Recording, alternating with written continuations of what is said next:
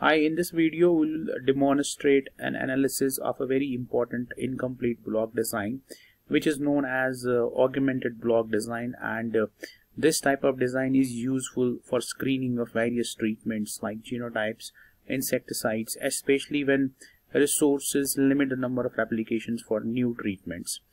And uh, uh, it is highly recommended for situations when a large number of new treatments require evaluation but only limited replications are feasible. Uh, maximum one or you don't have a, a space for the replications uh, for those uh, new uh, treatments. So in this design uh, which is a part of an incomplete block design in this uh, design a portion of treatments which are known as check treatments and these are replicated ones are arranged in a standard block design like in case of randomized complete block design or a balanced and incomplete block design. And to those blocks the remaining treatments having less number of replications which are known as test treatments are added. So mm, in this design we have two categories of treatment. One is checks. They are replicated and we have some new entries which are known as test treatments. Uh, so we'll be focusing more on uh, the analysis part using the RStudio and for that we'll be utilizing two important libraries. One is agricolae and another one which is totally uh, recommended for this kind of uh, experimental design. Uh, so for that uh, we will first uh, recall the library library uh, agri coli and this is agricolae library. This package contains the functionality for statistical analysis of experimental designs applied specially for field experiments in agricultural and especially to plant breedings uh, plant breeding trials. Uh, so we'll click on this enter. And in order to proceed I will be utilizing a data set where uh, we are having blocks treatments and we have a response variable. Say for example this is days taken to flowering. Uh, this is the data taken from a breeding trial. And in this case we have five uh, blocks. And in every block we have three checks which are replicated uh, with respect to all these five blocks which you can see and the total number of entries uh, or we can say the total number of treatments including these uh, checks uh, within a block within a block are uh, 34 so we have a 31 uh, new or test treatments and we have three checks in each block. But these checks are replicated in each uh, and every block. So in order to proceed we will first recall this library that is li library agri coli and in order to uh, uh, perform the analysis of this kind of a data set utilizing this library we will use a uh, default function that is known as uh, dau dot test followed by the name of the data set. And in this example the name of this uh, data set is aug dollar sign. Uh, and the first thing is that we have to uh, put the value of the name of the block here. Then again I will write AUG dollar sign and I will recall this treatment. Then after that I can again write AUG uh, dollar sign. Then the name of the response variable. Then I will use method is equal to and where I have to put here you can see dau dot dau.test first we have to write the name with extract block from what data set that is why I have written the name of data set first then using the dollar sign. Uh, then after that we have to write the treatments or the objects of comparisons including uh, which includes both these uh, chucks and test varieties or test treatments then the response variable then I will use these these uh, inverted commas and within that I will use uh, this LSD or we can use uh, Tukey's or anything. Then followed by console. C o n console is equal to true if we want the printout of uh, this analysis. Then we'll click on this enter. Then uh, within a few seconds uh, the results will be displayed and we have to wait for some time. So we have uh, the results.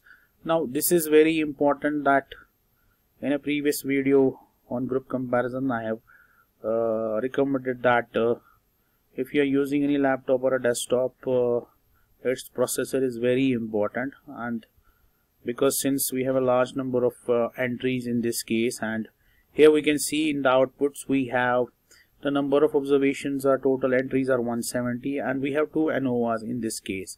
One is treatment adjusted and for that uh, we have the traditional analysis of variance. We have a source variation for blocks unadjusted. Then we have treatment adjusted source of variation control. Then control versus this augmented. Then we have the p values for this also.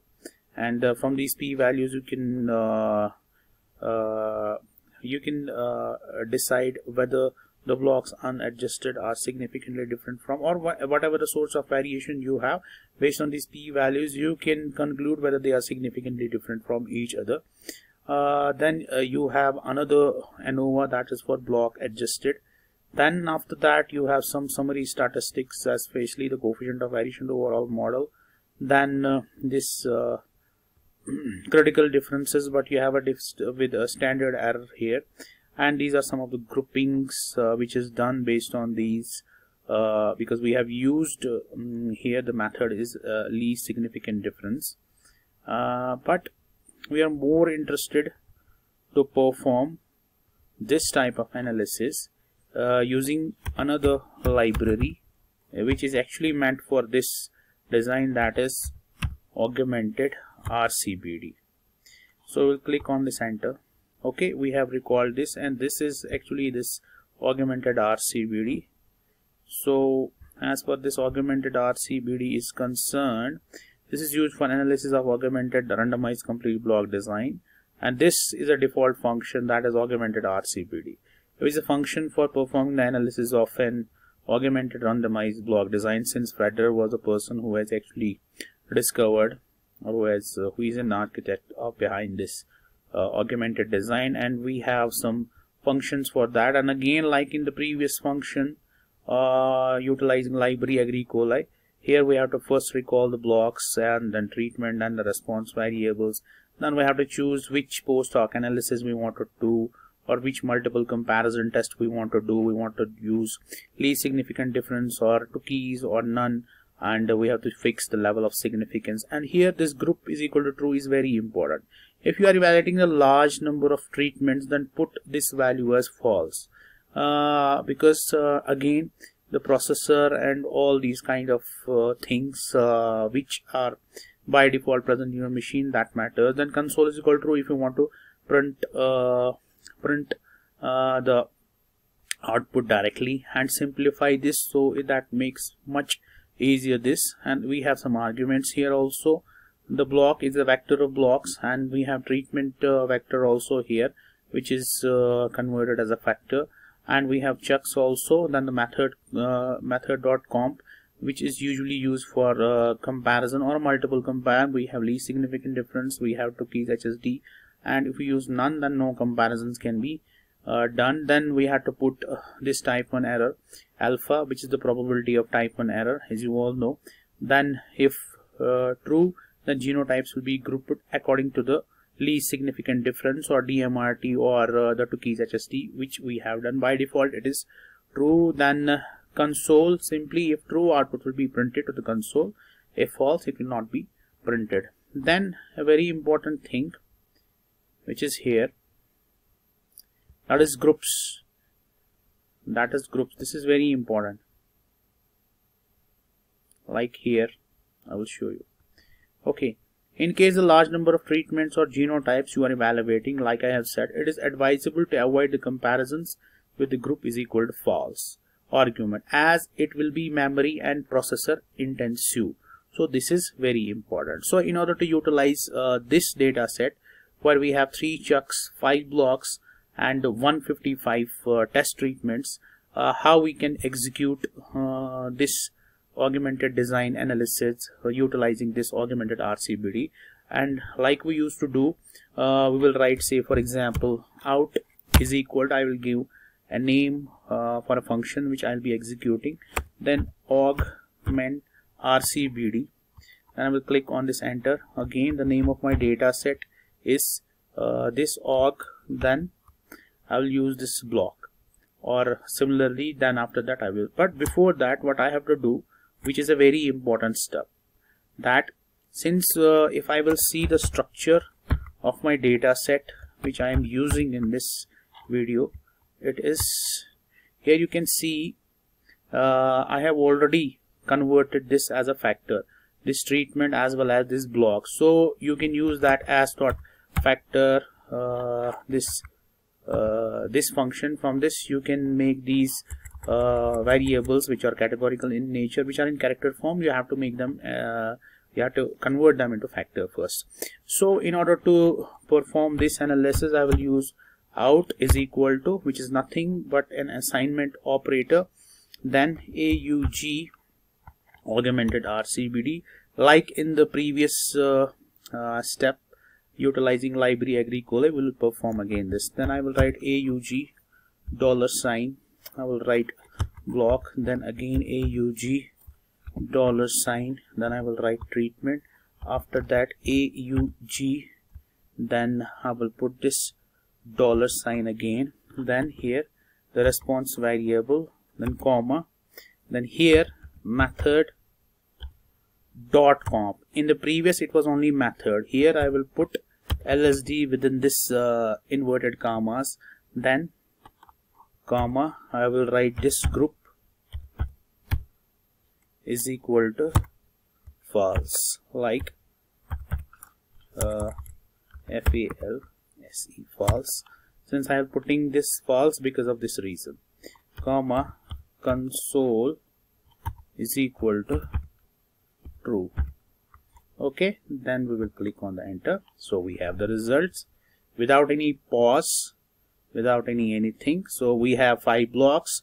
We have uh, 158 treatments. We have checks are 3 155 tests.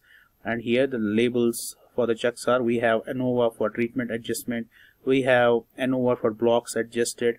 And with respect to p-value you can decide. Then we have critical differences. Then we have means adjusted. Here you can see it is a very important thing. Here you have standard errors for only checks because checks are replicated. That's you are having the values for standard errors but not for the those test treatments. Then if I will use an another function to perform the genetic variability analysis so I will uh, use GVA like this I will use GVA dot uh, RCBD and within that I will use the name of the function which I have given in the previous step. Then we'll be having the output. Uh, we have mean general mean. We have phenotypic variance. We have genotypic variance. We have environmental variance or error variance. We have genotypic coefficient of variance uh, and then phenotypic. Then we have uh, this um, heritability both in uh, broad sense and we have genetic advance and we have a genetic advance uh, percentage in mean. Uh, for that uh, to know furthermore you'll click on this index then you can go to this gva.rcb and you can find out the arguments. What does it mean? Because if you have a, a cv percentage within this range less than 10 it is uh, considered into a low category if it is like between 10 to 20 it is considered to be mm, uh, medium. Then similarly if it is greater than 20 then it's high. And similarly for this broad sense heritability and for this uh, genetic advance uh, then we have another thing that is known as genetic advance uh, as a percentage of uh, mean which is nothing. Is the ratio of genetic advance by the mean. And again you can interpret and in this case we have a medium GAM uh, since it is within these limits Uh, 10 to 20 hope this video might be quite helpful to all of you. Thank you very much